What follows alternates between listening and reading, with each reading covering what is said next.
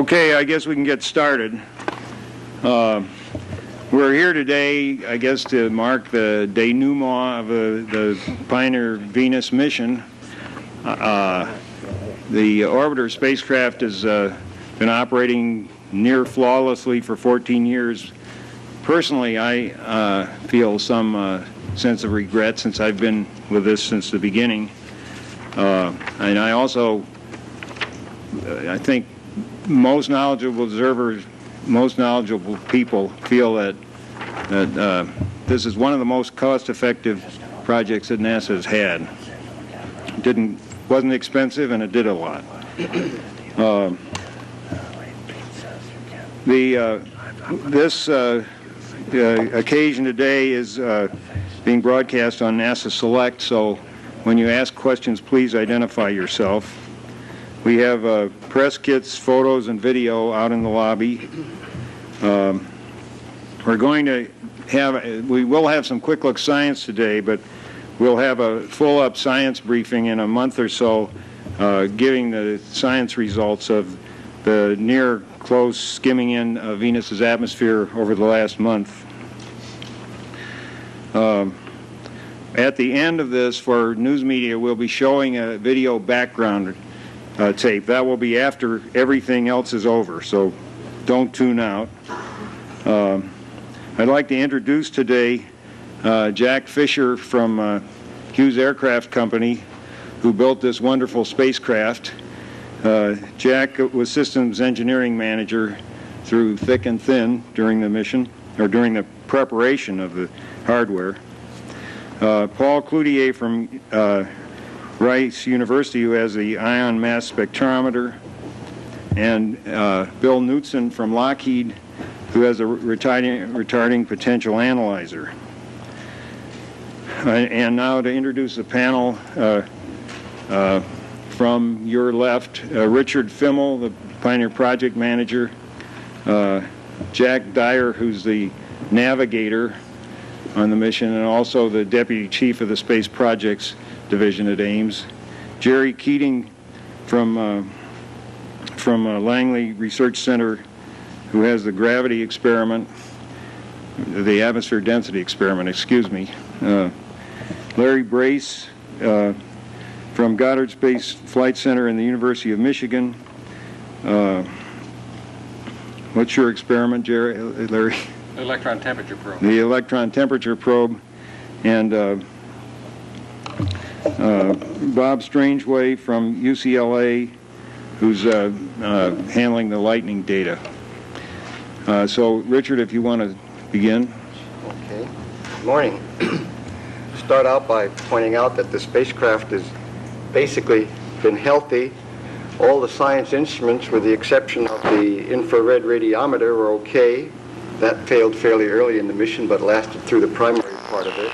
And we were not using the radar instruments because of the fine job being done by Magellan, also partly because of lack of power.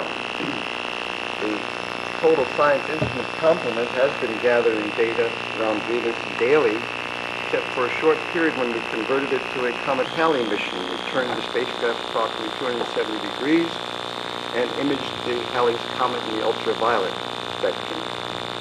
Now initially, Venus orbiter was required to last one Venus day, or 243 Earth days. It's done a little better than that. It's lasted 14 years and five months, 5,226 days, or over 21 times the, that length of time. This has been an enormously successful and productive mission. The spacecraft could have gone on longer, but we're out of fuel. Interesting fact, the total mission cost for the orbiter and mission operations has been about $170 million. That translates to about 68 cents per person in the United States. The operations part of that translate into less than two and a half cents per year per person in the United States. I think that's a pretty good record. It launched on the 20th of May in 1978 and was inserted in orbit on the 6th of December that same year. Now, in spite of the fact that we're sad at the loss of an old friend, On the other hand, the high science productivity gives us really great cause for satisfaction and a job well done. Jack Dyer will tell you a little more about some of the things we've been doing with it recently. Um, A big part, but by no means all of the science of the Pioneer Venus orbiter was to examine directly the ionosphere and upper atmosphere of Venus with uh, instruments uh, designed to uh, sample it. And when Pioneer Venus orbiter was built, it was uh, felt that we could get down to about 155 kilometers, about 100 miles uh, altitude. Uh, When the spacecraft was placed into orbit at Venus, a highly elliptical orbit, um, we we controlled it by pulling it down against the solar gravitational effect, uh, which tended to raise the altitude of closest approach. Uh, we did that uh, feeling our way down literally and found that in the day side where the atmosphere is warmer and puffed up, that we could actually get down to 152 kilometers with the criteria of safety we had set for ourselves. Uh, on the dark side, where it was colder, we found we could actually get down to about 140 kilometers. It was uh, very satisfying all around, and we did that for about a year and a half until about 90% of the liquid fuel on board the spacecraft had been used. At that point, we kept the remainder so that we keep, could keep control of the orientation of the spin axis, which affects communication, and also the uh, spin rate of the spacecraft uh, for whatever remained of its life. To our spectacular surprise, uh, what remained of its life was all of the time the uh, sun's gravity would permit it to uh, orbit Venus, which uh, came to about last September 7th, at which point it was uh, descending uh, again at a pretty good rate, thanks to the sun's gravitational influence, into Venus atmosphere. On September 7th, then, we began to use the last, what now is about uh, 6 or 8 percent of the propellant, having used some in the interim to do a little housekeeping and, and to look at Halley's Comet, as Richard mentioned, and, and another comet. Uh, and, but we began to use then what remained of the fuel to uh, raise the altitude of periaps. We did that on a five-day cycle, and in doing it, we allowed it to go deeper than it had before. We finally were able to realize the wishes of, of uh, several of the scientists who, whose whole focus was uh, to get as deep as we could and learn as much as we could about the other, the upper atmosphere, some of which you'll hear about in the, uh, uh, from the scientists to, to follow me. Uh, and uh, in that process, uh, we went another five or six miles deep, perhaps 10 times more dense atmosphere, taking greater risk, approaching the ultimate calculated temperatures that we thought the outer surfaces of the spacecraft could stand without serious destruction. Uh, we had hoped we might get through nine cycles, but it's a very difficult thing to measure how much propellant was available. And after we got started, it was very encouraging because the changes in pressure in the tank were such that it looked like we would make it through nine cycles, which would let the spacecraft survive to December, which was far, far beyond our hopes. But it turns out, uh, like in old cars, the gas gauge, having sat there for 12 years at one setting, uh, apparently shifted a bit. And uh, last, uh, uh, last Thursday evening, uh, we saw signs that uh, we were out of gas. And we thought that was a bubble on Friday evening. We tried some tests that indicated that no, in fact, we might be out of gas, but uh, we had just elevated it, so we knew it would last a few more days. Uh, on over the weekend, we realized that there were about four ounces available in the plumbing on the opposite side of the spacecraft, and in order to extend it as long as possible, in case we were wrong in our calculations as to how long it would last, uh, we spun it up further so that the communications angles would hold up in spite of the intense drag that it would encounter uh, before it died. And that was done Monday night. Uh, then we thought maybe that would shake out a few drops of propellant in the very low uh, rotational acceleration field out to the side of the spacecraft where we could increase its altitude some more. And we were able to do that on Wednesday, uh, raised it another uh, kilometer with, we think, about six tenths of an ounce that uh, rolled out there to uh, that thruster. And in that process, improved further the communications angle. But uh, by then, we had gotten uh, somewhat past, well past, really, our calculated resistance of the materials to temperature. And yesterday, on Thursday, when it went behind the, the planet and through its lowest passage, it apparently died because we were unable to communicate with it after that. But uh, we had uh, gotten uh, data very, very much deeper than uh, we had ever expected. I have a, I don't know what the arrangements here are for, for seeing visuals. Can this be seen, Pete? All right. This, I'm sorry about the size. This is a plot of the altitude uh, as a function of day. Each dot represents a- an altitude of periaps. The uh, dot with the arrow is dated October 7th and is the, uh, represents the altitude of periaps on the date when uh, we had our last successful pa- pass. And the next, the lower plot, uh, the- pardon me, the, the next and lowest dot is the uh, altitude uh, that we did not survive. Uh, Those altitudes are 129 kilometers and 128 kilometers. And you can see that the, be- this distance between the last two dots was shortened up a little bit by my mentioning of the 6 tenths ounce uh, that we found. Uh, But uh, we cut it so fine, apparently, that uh, it survived one and not, not the neighbor. That's all I have. Over. Before we go ahead, uh, since our project scientist can't be here, Pete Waller is going to report on some of the things that he would have reported to us, and then we'll continue. Well, I, I talked to several experimenters who couldn't be here. Uh, Ian Stewart at the uh, University of Colorado, who has the ultraviolet instrument, uh, saw a glow from the spacecraft uh, in uh, the last three passes into Venus's atmosphere, I guess, due to the friction with the atmosphere. And uh, Ian got a, a, uh spectrum, and I said, "What did it mean?" And he said he didn't have any idea. Uh, I'd never seen anything like it before. I have, anyway, I have his phone number. The uh, Hasso Niemann at Goddard Space Flight Center's neutral mass spectrometer and uh, Bill Knudsen's retarding potential analyzer showed a lot of ions, which they will be analyzing and, and which they expected to get, both from the spacecraft and from being lower in Venus's atmosphere. Uh, Chris Russell's magnetometer, Chris is at UCLA, showed uh, very, very low magnetic field. Uh, this has to do uh, uh, largely, I gather, with the phase of the solar cycle.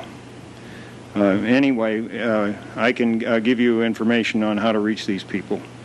And that's it. So uh, if you want to go ahead, Jerry. Jerry? Okay, I'm Jerry Keating from NASA Langley Research Center, and I'm the principal investigator on the orbiter atmospheric drag experiment. Uh, we look at how the orbit shrinks with time, how the period changes with time, and from that we can determine densities in the vicinity of what is called periapsis, which is the closest approach of the satellite orbit to the uh, to the planet. and that uh, closest approach changes altitude, as Jack has been saying, um, and um, we uh, can then get the vertical structure of the atmosphere by looking at how the uh, density varies uh, with altitude. Uh, knowing how the density varies with altitude, we can make estimates of the temperature of the atmosphere and also the composition. Um, the other thing which we have uh, been doing is helping Jack estimate uh, when we should be able to, should pull out of the atmosphere up to a higher altitude, uh, and we normally within about one rev of burning the uh, coatings on the outside of the satellite. So it's uh, it's been critical that we uh, obtain these uh, drag measurements um, within hours of the time of the next pass. Um, I'd like to show you, if you can see this, um, uh, something that kind of summarizes what we've been able to see from um, uh, on Venus from uh, looking at the vertical structure from the drag measurements. Um, uh, what I show you here is the uh, altitude versus temperature of the satellite, and um, this is Venus uh, temperatures as a function of altitude. Over here is the Earth temperatures, and you can see that in the upper atmosphere, the Venus is very cold compared to Earth. While down at the surface, of course, Venus is very, very hot. It'll melt lead. And so you have the, the opposite effect at the surface as you have up at the higher altitudes. Um, we were very surprised at the extraordinarily low temperatures that we found on Venus, uh, 300 Kelvin on the uh, day side upper atmosphere and about a 100 Kelvin on the night side. Uh, remember, this is closer to the sun than we are, and so it's surprising that it's so much, uh, so very, very cold. Um, we have uh, studied uh, during this entry phase the dayside uh, temperatures, trying to understand why they're as cold as they are. Uh, theoretical predictions would indicate, without extra cooling mechanisms, that you would have considerably warmer temperatures than what we see here. So now we have isolated this, we think, as uh, being uh, due to very, very strong radiative cooling uh, by CO2.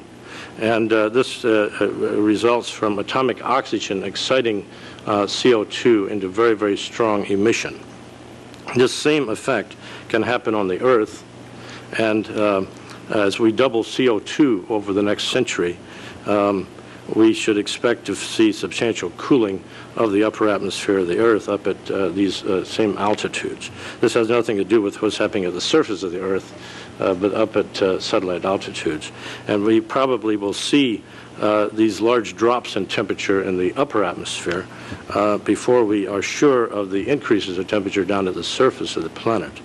The other thing which we are looking at is the night side of Venus. And the night side, the temperature actually drops off with altitude.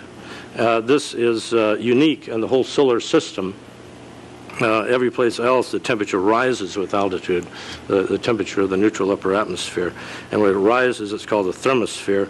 We now call this region where it drops off the cryosphere. And um, um, so we've detected this with the uh, drag measurements. Uh, uh, in, the, in the early phase of the mission, we could only measure the cryosphere near 150 kilometers. Now we've been able to measure the cryosphere down below 130 kilometers with the final measurements that we uh, had in the, last week.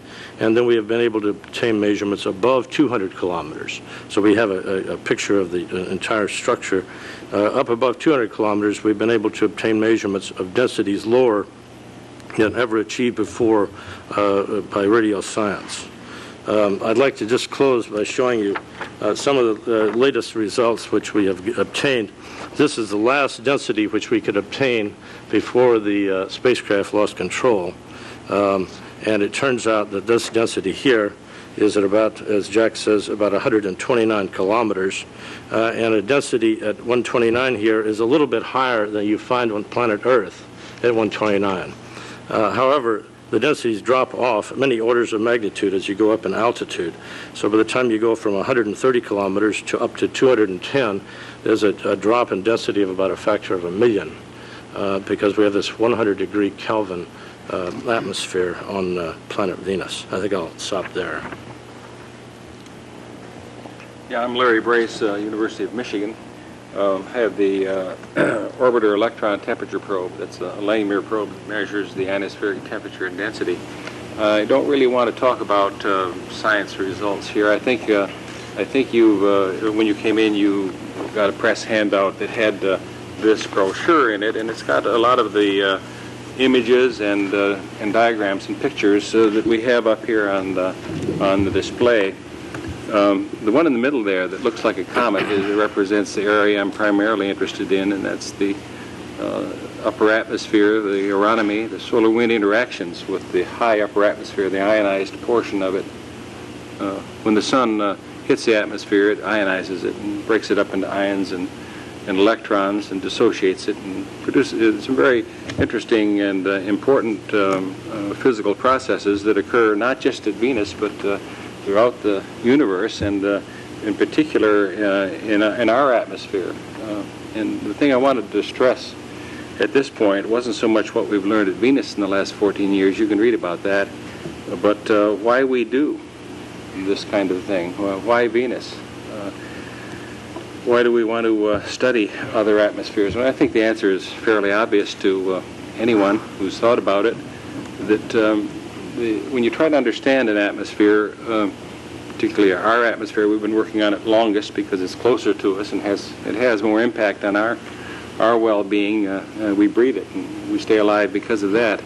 So we're we're somewhat more interested in the Earth's atmosphere than than that of other planets. Uh, But the same physics goes on at all the planets. Uh, And uh, we've generated mathematical models that contain that physics and applied them uh, with the help of knowledge of our own atmosphere from satellites and rockets and ground-based measurements. Uh, And we think we have a a pretty good mathematical model of various, various aspects of the Earth's atmosphere. Uh, on the other hand, we don't know because we've tuned those models to, uh, to uh, match what we know about the atmosphere. And in tuning them, uh, in tuning the, the processes, adjusting rate coefficients and, and trying to understand circulation, we introduce certain factors that explain the data but aren't necessarily physical. We don't really understand uh, all of the physics that's going on in our atmosphere.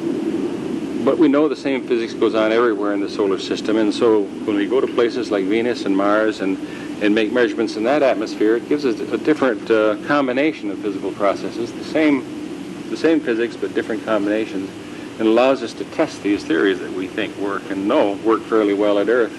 And sometimes there are surprises. Uh, uh, and uh, there have been surprises at, at Venus, uh, and, and there have been some surprises at Mars, although we don't know very much about Mars.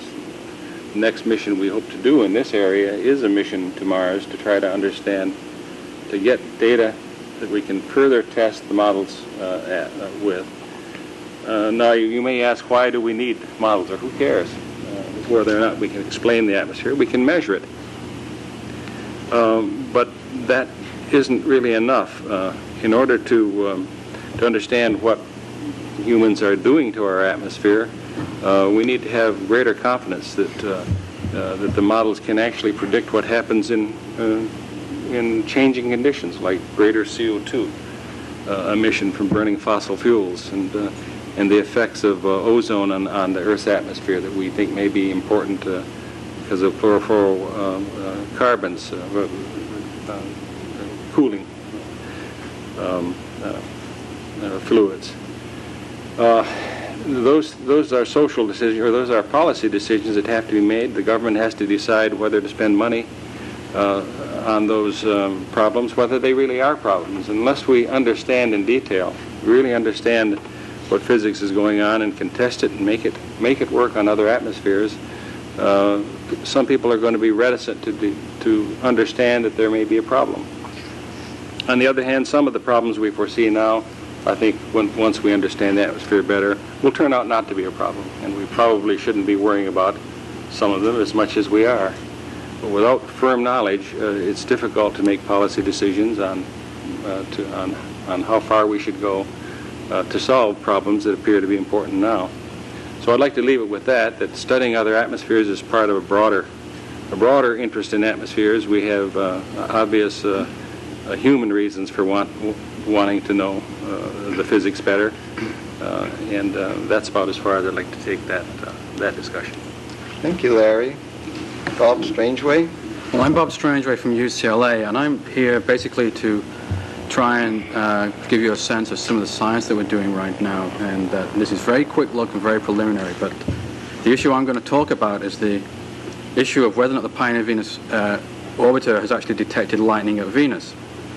A little bit of history is that early in the mission, Fred Scarf, who was the principal investigator on the plasma wave instrument, the orbiter electric field detector, measured wave bursts at lowest altitude in the 100 hertz channel, which is designed to measure Whistler mode waves, and said that these are due to lightning. Chris Russell and colleagues at UCLA looked at high frequency signals and also said these are due to lightning. Now, Paul Cloutier and Harry Taylor have, to, have, basically have questioned these interpretations and have argued that the, the signals that were attributed to lightning are in fact due to an interaction in the ionosphere, not in the atmosphere. So one of the pieces of information that we wanted to get from this entry phase mission is to determine whether or not the signals are due to lightning by seeing if we see the signals at lowest altitude, we get down to the altitudes we've never been before with the orbiter. I have some very preliminary results which I will discuss here, and I do want to emphasize that they are preliminary. The 100 hertz channel, this is the channel that measures these things known as Whistler mode waves, does measure signals at lowest altitude. They're very sporadic, they're not seen in every orbit, and this suggests that they are real as opposed to something that's generated by the spacecraft itself interacting with the ionosphere and atmosphere. In that regard, they could be due to lightning. The higher frequency signals are also detected, but not at lowest altitude, not at periapsis. They're often seen at about the same altitude inbound and outbound on each, each orbit. And this would suggest rather that it was a local source of these signals rather than a lightning source. I do want to emphasize again that these statements are preliminary. Uh, the spacecraft itself does create its own plasma environment as it rounds through the atmosphere, and at least some of this response could be due to the, how the instrument itself responds to that plasma environment. If these results do stand up under more detailed analysis, and I look forward to collaborating with Paul Cloutier amongst others on this, I would state that the, both the pro and anti-lightning camps have in fact, are in fact correct.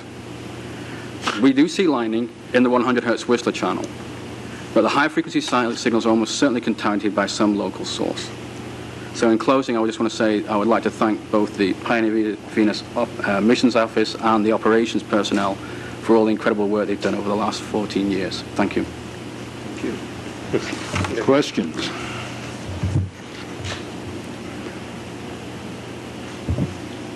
scale height, Jerry? What was the scale height of your density? Uh, About three and a half kilometers. This is, the scale height is, is uh, the altitude over which the density drops by a factor of E. And so it drops very, very fast, uh, about three and a half kilometers at these altitudes. 2.7, yeah. Is E. yeah. Just to clarify what, Uh, uh, And please identify yourself. I'm John Evans. Um, just the, the instruments are no longer functioning, but the spacecraft has not, uh, has not entered or, or, or landed or burned up yet, and won't do so until the 20th. Approximately the 20th, yeah. That's our estimate. I, I, I've got a picture here uh, of, uh, this is an estimate based upon a calculation at JPL um, of, um, yeah, of, um, of how the altitude will vary from uh, about about now. I guess we start this, uh, here is October the 8th. So it drops on down to about 119 kilometers and then stays at about that altitude until uh, the period decays down from 24 hours on down to essentially zero hours, and then it comes on in. Uh, so it depends upon exactly what the atmosphere is below us. I mean, we've been exploring the atmosphere at different altitudes, so we don't really know exactly what the properties are at these lower altitudes. So Will you know when this occurs? unlikely. I, I mean, unless a miracle occurs and we are able to uh, hear from the spacecraft again, we will never know. No. Most unlikely. Right. You you said you expect the experiments are working, the, the the instruments. No, are not working. Oh, okay, fine. You know that they are not because you're not. All, No. all we know is we have no radio communications. Uh, If we assume that that's due to the heating effect of drag, which, which I do, uh, I think a lot of things are failing to function rather quickly.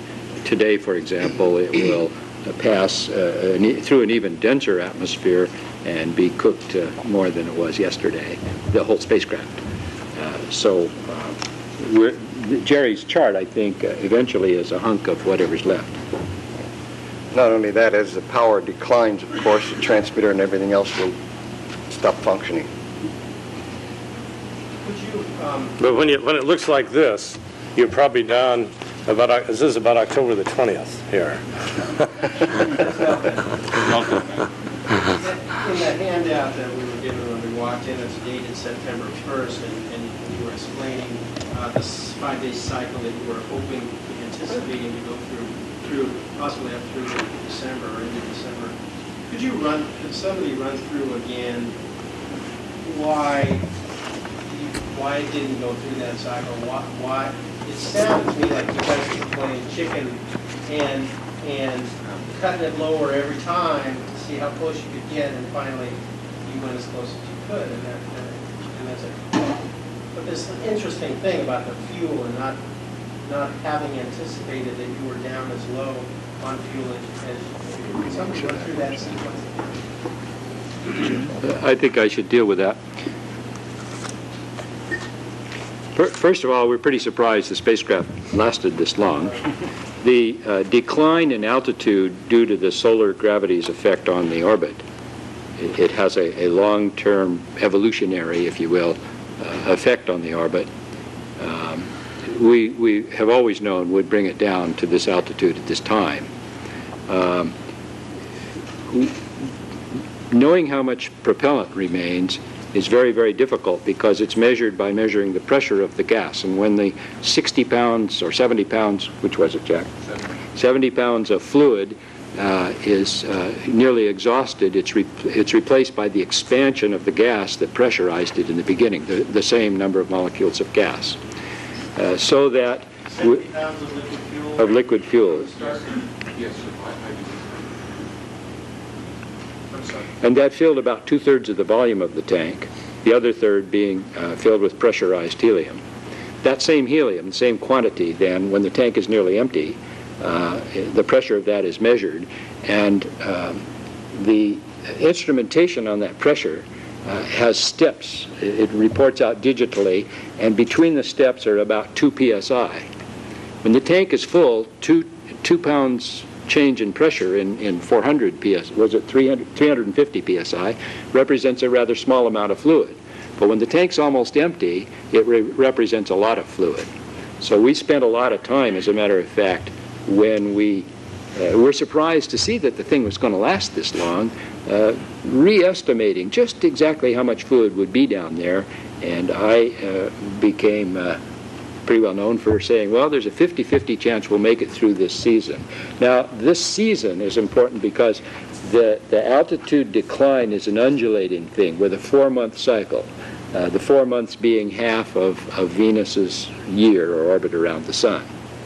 And uh, we thought we could possibly make it through, keep pulling it up so that we could move that next rise, survive it, and that would bring us down into a decline which would be on the daylight side of the planet, yielding a lot of benefit to the science in addition to far more benefit than we could have hoped for in the first place.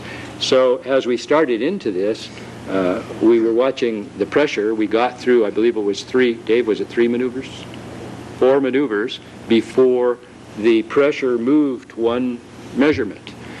Uh, we have always held that when it moves one measurement, that's a calibration point that was done in the factory. So now we really know what the pressure is, and we could get confidence, and, and I expressed that.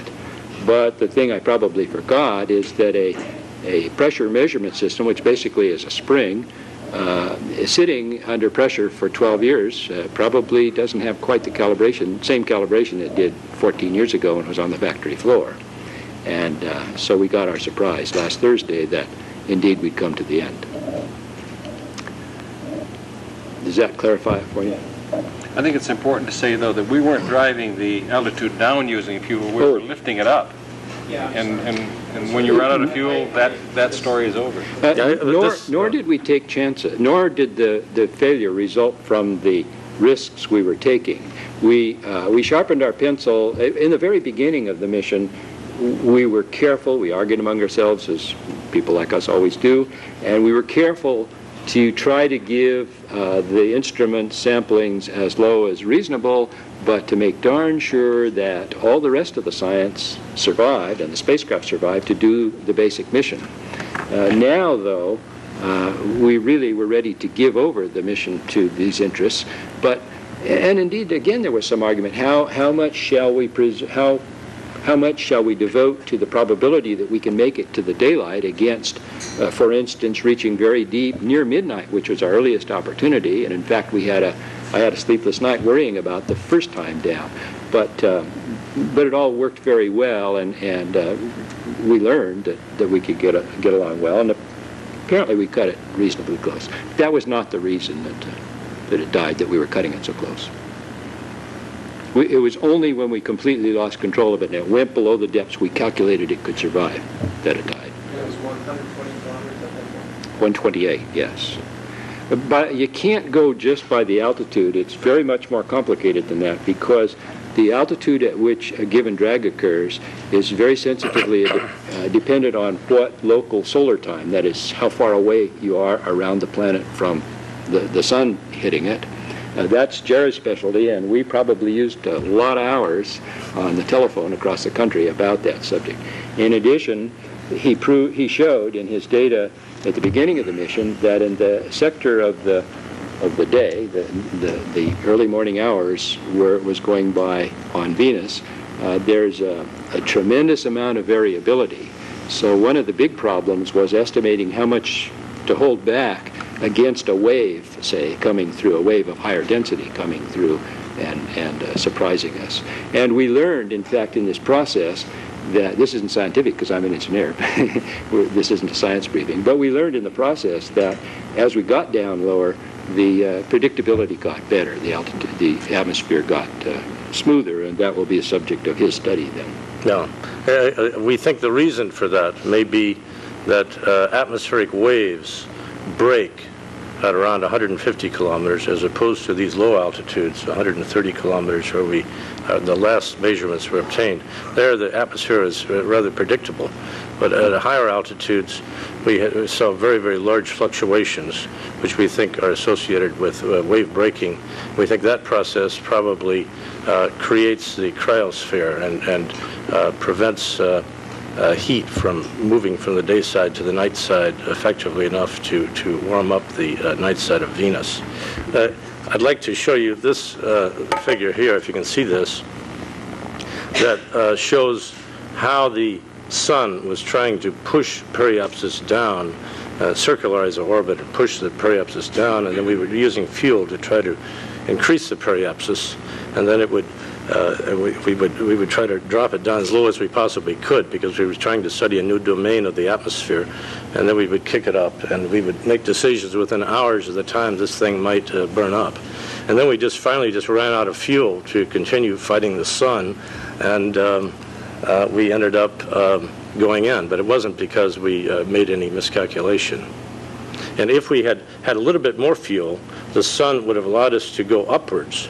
And then we would have uh, moved around to this side here, and we would have been able to survive until December. But uh, we just didn't have quite enough fuel to do that. 12 ounces we lacked. Right, that's all. you know. Can I ask one more question? I'm sort of other people with questions. but I- be- Not being a scientist, forgive me if this is a really stupid question, but why does solar gravity push something down towards Venus? Essentially what it does is it changes the shape of the orbit. Uh, It uh, tends to it circularize it sun, But as it's making the elliptical orbit, it pulls it closer to me. Yeah, it's a matter that the, the, uh, the sun, it will tend to circularize the orbit. If it circularizes it, uh, then the periapsis altitude will go up, or if it tries to make it more eccentric, uh, or, or, or more, uh, you know, pull it out further, uh, it will, it will, it will uh, t- take the periapsis down. So we were at a period of time when the sun tended to make it more elliptical, and that, that uh, carried the periapsis down. So the gravity is actually pulling towards the sun. It's, it's not pushing it. I mean, Right, Because yeah. that, that, I think- didn't with what I looked. Right, yeah. And It's- the- It varies the shape of the ellipse, is what it does. The the explanation, uh, the full explanation would be very complicated, but I think uh, a concept to to think about is that um, the gravitation of the sun uh, on on the planet is balanced by the planet's orbiting, swinging around the sun. Uh, Locked to the planet is the spacecraft, so the two bodies then are in orbit about the sun. Now, when the the spacecraft is out 40,000 miles from the planet, it has a little different gravitational sense of the sun than does the planet. That difference, uh, combined with the motion of the, the spacecraft around its orbit in a very complex way, causes evolution of the shape and, and tilt of the orbit. I don't know if that helps you. Yes. Can you tell us, I'm from KNBR Radio, that's the part. Can you tell me why the Pioneer Venus mission was so important as you see it? And can you put it in very simple terms? Well, one of the things, of course, that everyone should be interested in Venus is not vastly closer to the sun than the Earth is. And the things that have happened on Venus with the climatic evolution and the surface of Venus being at about 900 degrees Fahrenheit where lead is liquid came about from some phenomenon that caused the pollution in the atmosphere. Some scientists feel that we on Earth are heading the same way if we don't continue to watch how we pollute the atmosphere. That's not to imply that we would reach the same temperature, but certainly we could reach temperatures that would be rather detrimental to plant and animal life on the Earth.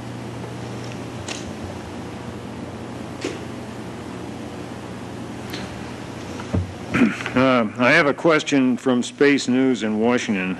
You may have answered some of this, Richard.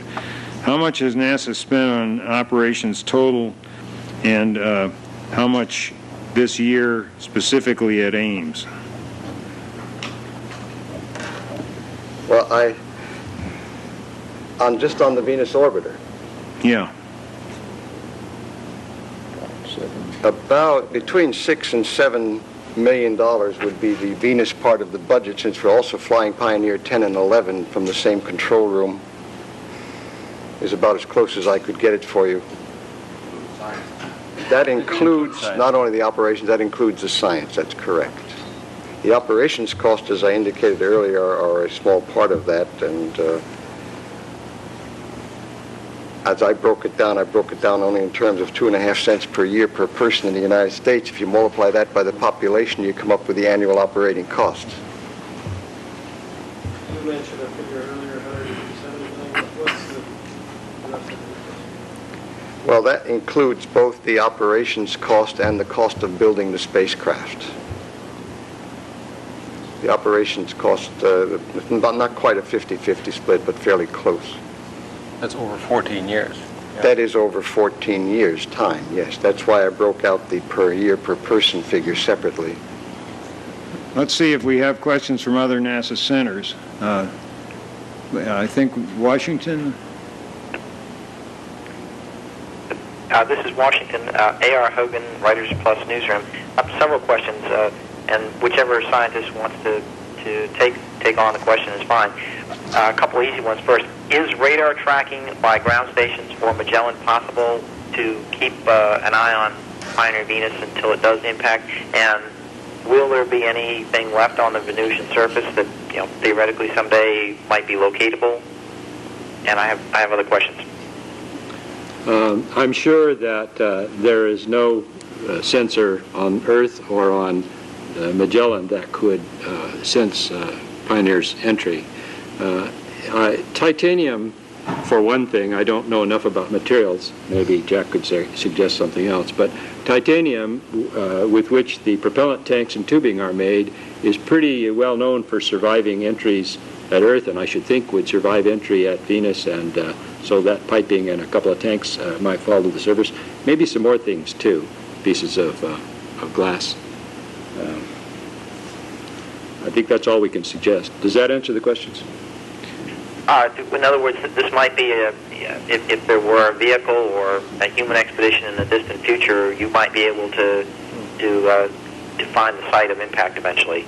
The surface of Now, my Venus other is. question is, uh, uh, here is, although uh, there are no definite plans now, there are several Discovery Project proposals on Venus. What post-Magellan, post-Pioneer Venus missions do you foresee or recommend, and what timeline do you expect to see those uh, missions happening? Um, I- Let me answer that a little bit. I I am now an investigator on Magellan on a similar mission uh, that we're doing here on Pioneer Venus. We dropped Magellan down uh, to about 180 kilometer altitude in September, and so now we're uh, starting to detect uh, the atmosphere on Venus with Magellan uh, from the orbital decay. Uh, We're about five hours later than the Pioneer Venus measurements. We were we were making measurements in the morning, while the Pioneer Venus measurements up until last night were made in the middle of the night. And uh, we expect to uh, make measurements uh, about eight times a day uh, for the next uh, uh, cycle on Venus, which is about seven months. So that is the only plan right now, because there is, there's going to be a cutoff on funding on Magellan, we understand, at the end of fiscal year 93. Uh, If there is a turnaround on that, then we would probably uh, circularize Magellan, um, and uh, then we could make measurements all over the planet, all over planet Venus, uh, because we could then, if it's nearly circular, then you can uh, change the uh, this periapsis, this closest approach, and dip down into the north, uh, say near the North Pole or near the South Pole, and gradually map the whole planet. Um, I guess there's no formal plans after that, uh, although there is various uh, uh, things that will be discussed, and San Juan Capistrano in November, uh, different uh, possible missions for the future. In, in a planetary advisory committee environment. Yeah. Is that the questions from Washington? Could, could, yes, could, could you could you just on your own uh, initiative just speculate on what you think will happen? I know there are no formal plans in place, but I mean, what what uh, date do you see uh, further missions happening, seismic stations, or more atmospheric uh, study probes, and so forth? And my final question is, can you uh, say something in general? One of the scientists from the University of Michigan was talking a little bit in this, but in just more general terms, can you talk about the importance of comparative planetology and, and how that is, is vital for our uh, environmental crisis here on Earth to get that, that information, please? And that is the last question from Washington.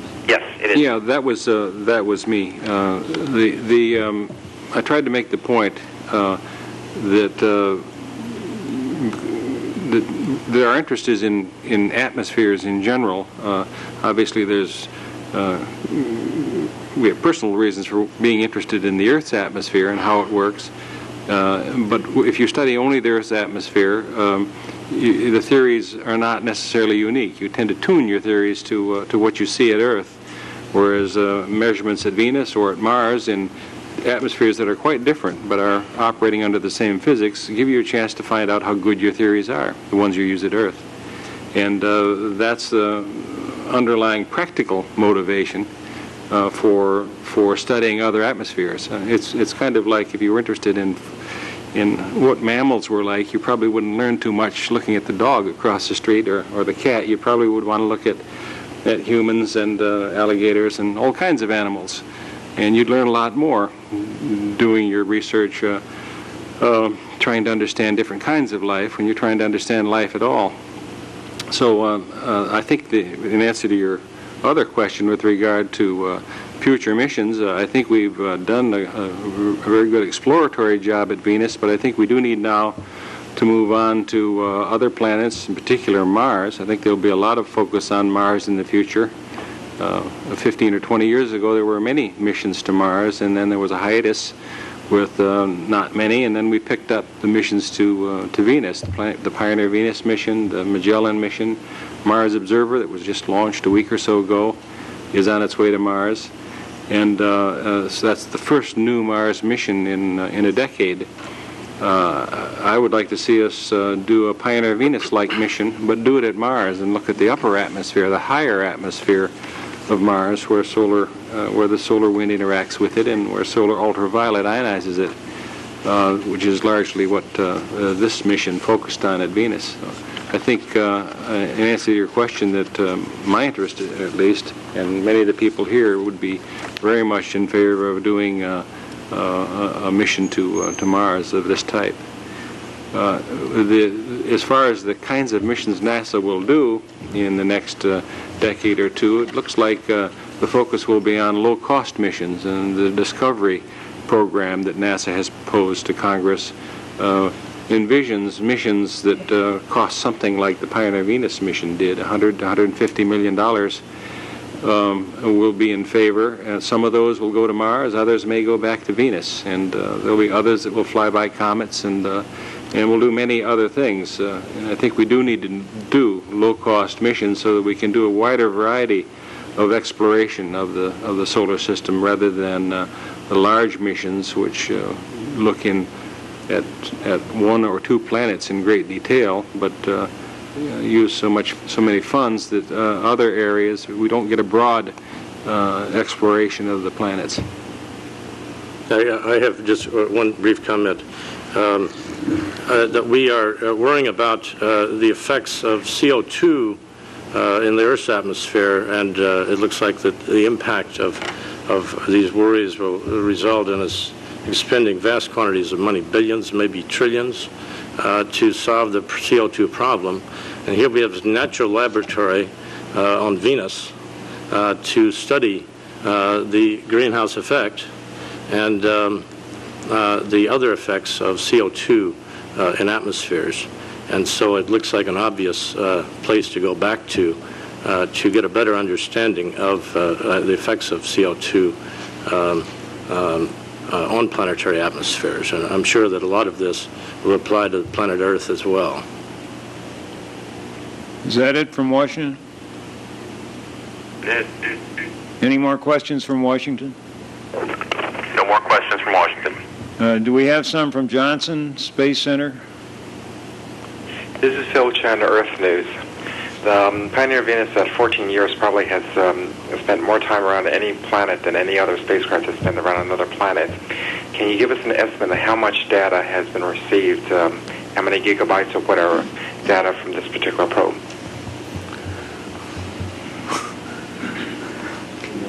Um, If you can do the multiplying, um, we we probably had uh, several hours a day, say, uh, on the average, say, uh, yeah, say six of a 1,000 bits a second uh, for those years. Is that, uh, anybody want to help me That's with that? about right. That a reasonable uh, That, that, order of magnitude? That's an approximation. Obviously, we had higher and lower bit rates, and we had almost 24-hour days early in the mission, and then we had shorter days with eight hours and six hours.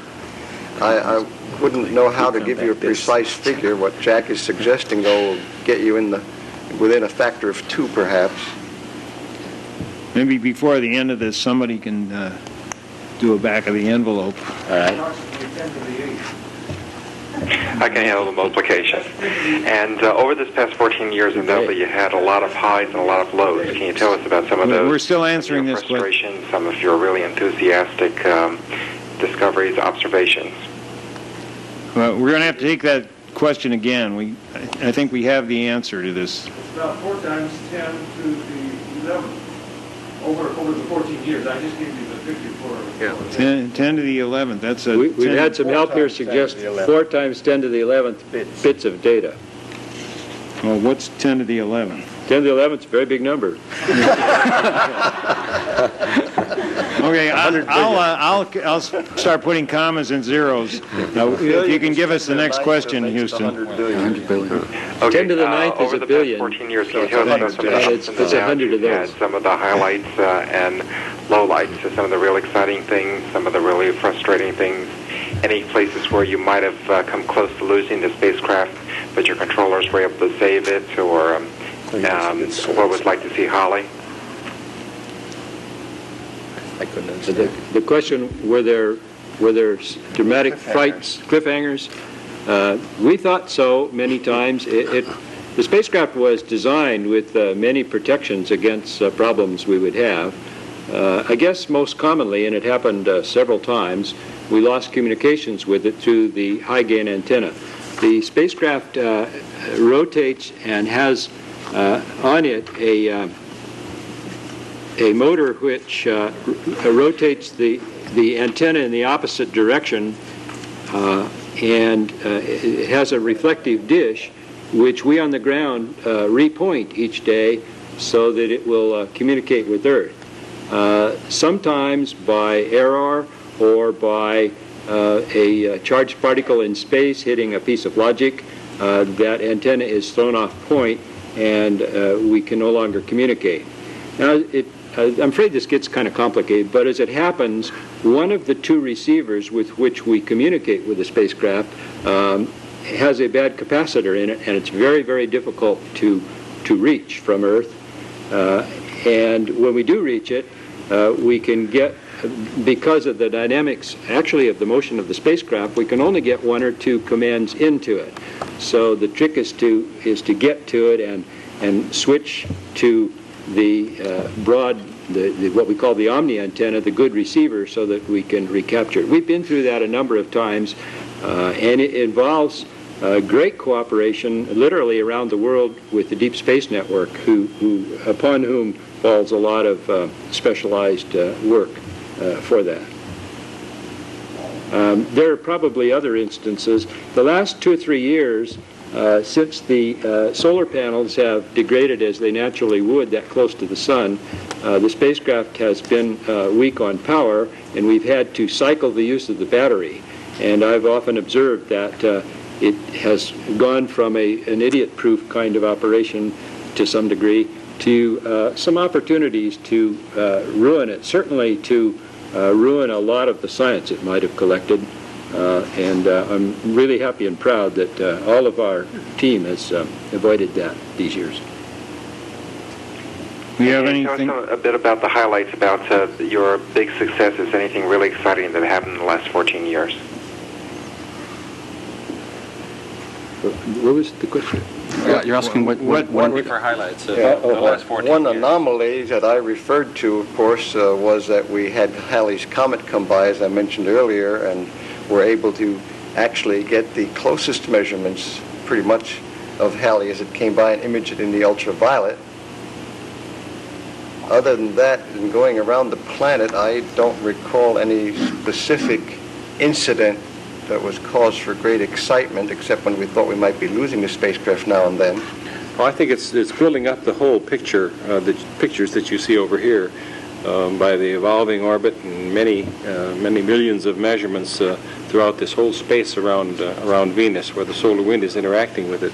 Um, it's the building up of that picture that is the, the highlight rather than a, a single discovery. Uh, it wasn't like Columbus coming upon a new unexpected continent. We, were, we knew where we were going, we just didn't know what we would, would see in any kind of detail. Yeah, I might add that, of course, the first detailed radar map of the surface was made by the Pioneer Venus Orbiter and has subsequently been improved upon by the Magellan's higher resolution. Also, we literally got thousands of pictures of the cloud cover from the uh, cloud photopolarimeter instrument that's on the spacecraft. Okay, tha- that uh, uh, completes the questions from the other centers. Do we have some more here? I have a question. One of the things that, uh, as I was trying to think of the effect of the rapid entry on the the RPA, it occurred to me to make a calculation of the Mach number at which the spacecraft would be coming in. And Because of the low Want to make your comment into that microphone so everybody can hear you? because of the low temperature of the CO2 and its relatively large atomic weight, the uh, spacecraft will be entering in at about Mach 60. Six oh. Yeah, 60, which, yeah. which is, uh, you know, in the Earth's atmosphere, the velocity isn't quite as high, and you're at a higher, the gas is at a much higher temperature, and so there, uh, there, there may be some interest in the uh, fact that this particular spacecraft is burning up at probably a higher Mach number than any that I can think of at the moment. Very interesting. Thank you, Bill. The uh, number of data bits turns out to be uh, 40 billion, and that's uh, that, that, uh, that's a uh, half a 400 billion, and that's half a trillion, roughly half a trillion. It's like the. Quarter the next. Not too well defined. About a dollar a pipe. Right. Okay. All right, well, I I guess that uh, completes this uh, occasion. Uh, We will be showing uh, the video background tape uh, after the questions are concluded, and the questions are concluded. Thank you very much.